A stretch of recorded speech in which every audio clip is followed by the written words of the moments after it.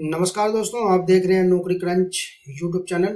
दोस्तों, Chaudhary Charan Singh, Haryana agriculture university के form BSc agriculture four year और सिक्स ईयर प्रोग्राम के लिए स्टार्ट हो चुके हैं। मैं आपको इस वीडियो में कंप्लीट जानकारी देने वाला हूँ कि कौन कौन स्टूडेंट जो है बीएससी एग्रीकल्चर कोर्सेज के लिए अप्लाई कर सकते हैं और कब तक आप अपना फॉर्म फिल कर सकते हैं एग्ज़ाम कब होने वाले हैं काउंसलिंग डेट कब कब की है और आप अपना फॉर्म कैसे भर सकते हैं। इसलिए दोस्तों, आप मेरी वीडियो को पूरा देखिएगा। मैं इस वीडियो में आपको पूरा फॉर्म फिल करने का पूरा प्रोसेस बताने वाला हूँ। यदि आपको कुछ भी समझ समझ में नहीं आएगा तो आप मुझे मेरी वीडियो के कमेंट सेक्शन में कमेंट करके भी पूछ सकते हैं। और दोस्तों, मैं आप सभी से रिक्वेस्ट करता हूँ, अगर आप मेरे चैनल पर पहली बार आए हैं, वीडियो को पहली बार देख रहे हैं तो कृपया चैनल को सब्सक्राइब कर लीजिए बेल आइकन को ऑन कर लीजिए, ताकि इसी तरह की यूजफुल वीडियोज़ मैं जब भी अपने चैनल पर अपलोड करूँगा, वो आपके पास सबसे पहले पहुंचेगी। तो चलिए दोस्तों, वीडियो को शुरू करते हैं। दोस्तों हमारी जो वेबसाइट है नौकरी क्रंच डॉट कॉम, उस पर आप आप जाएँगे। आप वहाँ पे एडमिशन के सेक्शन पे जैसे ही जाएँगे तो आपको यहाँ पे C C S H A U admission 2023 का लिंक मिलेगा। जैसे ही आप इस पर क्लिक करेंगे तो आपके सामने ये सारी जानकारी जो है ओपन होके आ जाएगी। आप जैसे ही इस पर क्लिक करेंगे तो आप पूरी इंस्ट्रक्शन यहाँ से रीड भी कर सकते हैं।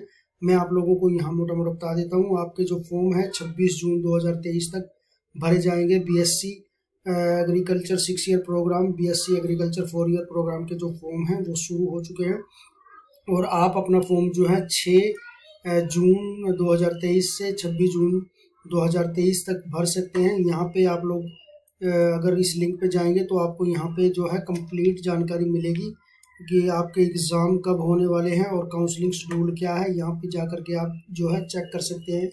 मैं यहाँ पे आपको एक एक करके नहीं बता पाऊँगा।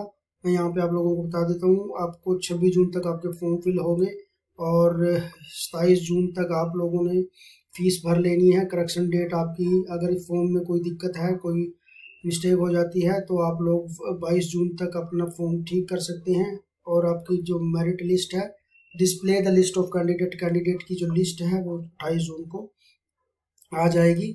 आप यहाँ से जो है, सभी कोर्स की, जितने भी कोर्स हैं BSc honours BSc honours six year और four year programme BSc honours agriculture management B F S C four year programme B S C सभी कोर्सेज जितने भी कोर्सेज हैं, सभी कोर्सेज के लिए ये B S C home science programme के लिए बी एफ़ एस सी जितने भी कोर्सेज हैं, सभी के लिए फॉर्म जो है शुरू हो चुके हैं, जैसे B S C honours agriculture B S C agriculture four year B F S C और बी एफ़ एस सी या B S C honours B S C home science सभी के लिए कोर्सेज जो है, शुरू हो चुके हैं। आपकी जो फ़ीस लगने वाली है, वो है पंद्रह सौ रुपये जनरल कैटेगरी के लिए, तीन सौ पचहत्तर रुपये S C B C E W S category के लिए। और आपको मैं फॉर्म फिल करने का तरीका आगे वीडियो में बताने वाला हूँ। आप मेरी वीडियो पर बने रहे कंप्लीट जानकारी के लिए मैं आपको ये लिंक जो है वीडियो की डिस्क्रिप्शन बॉक्स में दे दूँगा, वहाँ से जा कर के आप इंस्ट्रक्शन चेक कर सकते हैं।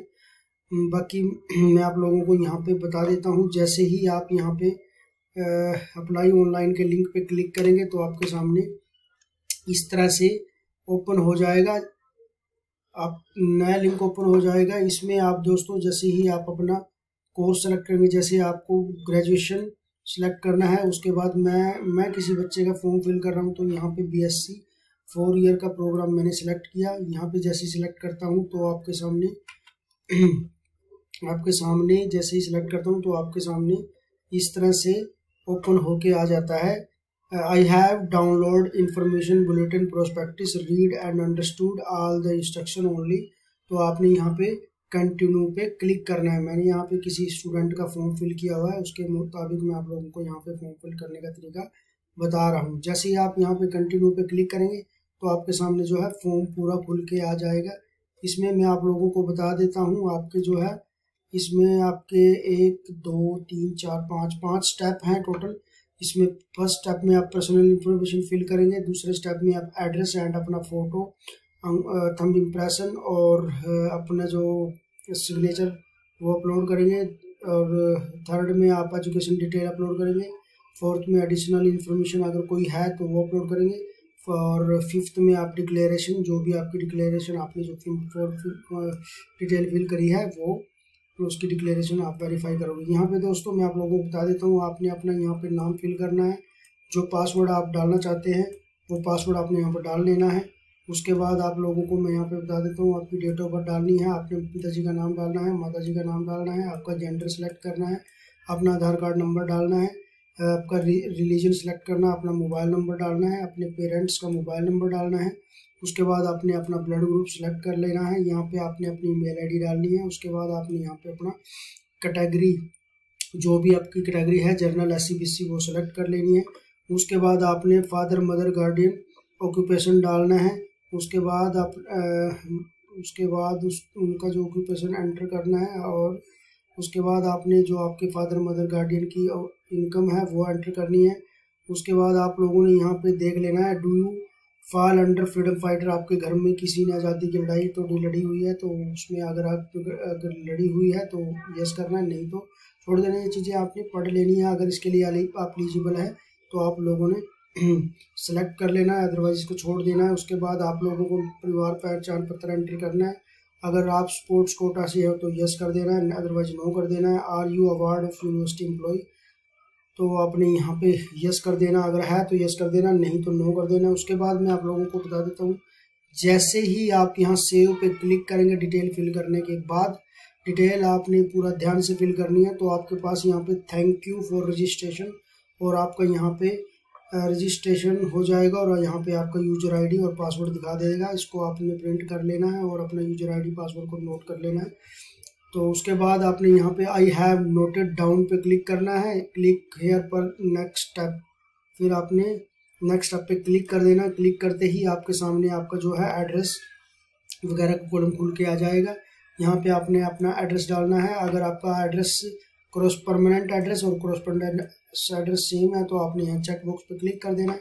आपने अपने एड्रेस का जो पिन कोड है, वो एंटर करना है। उसके बाद आपकी जो फ़ोटो है लेटेस्ट फ़ोटो आपने अपलोड करनी है। अपना थंब इम्प्रेशन अगर बॉयज़ है तो आपको लेफ़्ट थंब इम्प्रेशन अपलोड करना है। अगर गर्ल्स है तो आपको राइट थंब इम्प्रेशन अपलोड करना है। और अपना सिग्नेचर अपलोड करने के बाद आपने यहाँ सेव कर देना है। फिर आपको यहाँ पे आपका जो फ़ोटो जो है, वो दिखाएगा। जैसे इस तरह से ये नीचे दिखा रहा है। ठीक है? यहाँ पे आपका फ़ोटो आपका साइन और आपका थंब इम्प्रेशन दिखाएगा। फिर आपने यहाँ पे नेक्स्ट पे क्लिक करना। नेक्स्ट पे क्लिक करने के बाद आपसे आपकी एजुकेशन एंटर करने के लिए बोलेगा। आपने अपनी मैट्रिक की डिटेल फिल करनी है। आपका year of passing board board का नाम एडमिशन और रोल नंबर और आपके कितने परसेंट मार्क्स हैं, कितने में से कितने नंबर हैं, आपके सब्जेक्ट फिल करने हैं। उसके बाद आपने जो है आपका ट्वेल्थ क्लास का आपने जो है फिल कर देना डिटेल यहाँ पे इसी तरह से आपने रोल नंबर मैक्सिमम मार्क्स और ऑप्टेन मार्क्स आपने एंटर करना है। उसके बाद आपने यहाँ पे you have opted appear entrance test physics chemistry biology आपने यहाँ पे जैसे ही क्लिक करोगे तो आपके सामने सारे सब्जेक्ट खुल के आ जाएँगे। जो जो सब्जेक्ट आपके पास हैं, वही सब्जेक्ट आपने सिर्फ़ सेलेक्ट करना है, वो यहाँ पे शो करेगा। देन आपने यहाँ पे सेव पर क्लिक करना है। उसके बाद आपने यहाँ पे नेक्स्ट पे क्लिक करना। नेक्स्ट पे क्लिक करते ही आपके सामने ये नया नेक्स्ट ऐप पे आ जाओगे। यहाँ पे आपसे एडिशनल इन्फॉर्मेशन के बारे में पूछ रहा है। यदि आपके पास एडिशनल कोई इन्फॉर्मेशन है तो आपने एंटर कर देनी है।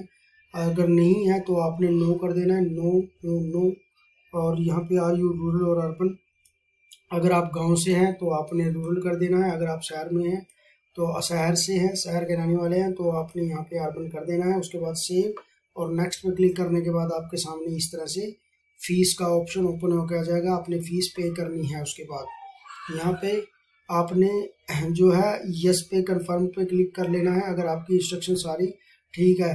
अगर इंस्ट्रक्शन आप चेक करना चाहते हैं तो यहाँ पे प्रीव्यू पे क्लिक करेंगे तो आपके सामने इस तरह से फॉर्म ओपन होके आ जाएगा। आपका जो फॉर्म है सारी इंस्ट्रक्शन यहाँ पे दिखा देगा कि आपने फॉर्म में क्या क्या फिल किया हुआ है। अदरवाइज़ आप यहाँ प्रीवियस अगर आपका कोई डिटेल मिस्टेक हो गया तो प्रीवियस पे क्लिक करके आप अपनी डिटेल को फिर से ठीक कर सकते हैं।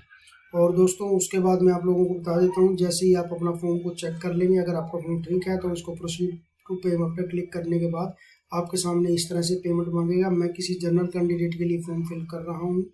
तो आपको यहाँ पे पे नाव पे क्लिक करना है। पे नाव पे क्लिक करने के बाद आपके सामने credit card debit card net banking UPI pay later का ऑप्शन आएगा। अगर आप, जैसे मैंने यहाँ पे क्रेडिट कार्ड से पेमेंट करना है तो मैं यहाँ पे क्रेडिट कार्ड का नंबर एंटर करने के बाद यहाँ पे expiry date C V number enter करने के बाद मेक पेमेंट पर क्लिक करता हूँ, मेरे पास ओटीपी आएगा। ओटीपी एंटर करने के बाद मुझे जो है सबमिट पे क्लिक कर देना है। सबमिट पे क्लिक करने के बाद आपका जो फॉर्म है, वो सबमिट हो जाएगा। और दोस्तों, उसके बाद आपने यहाँ पे प्रिंट के सेक्शन पे क्लिक करके अपना प्रिंट जो है निकाल लेना है। तो चलिए दोस्तों, अगर आपको मेरा वीडियो अच्छा लगा है तो वीडियो को लाइक कीजिएगा चैनल को सब्सक्राइब कर लीजिएगा।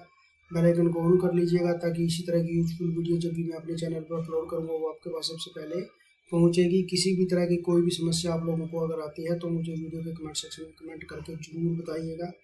धन्यवाद।